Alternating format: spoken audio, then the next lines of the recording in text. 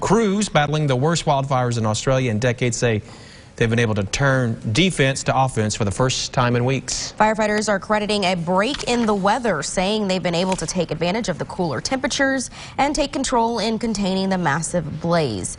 Crews are bulldozing small trees and burning shrub ahead of the fire's projected path to prevent it from reaching a major highway. So it's pretty critical that we pull this up.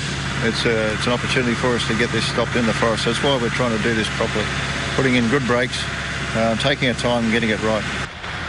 Wildfires have been raging for nearly three months in Australia, killing 28 people. Four of the casualties have been firefighters. A number of Australian endangered animals are also at risk of extinction.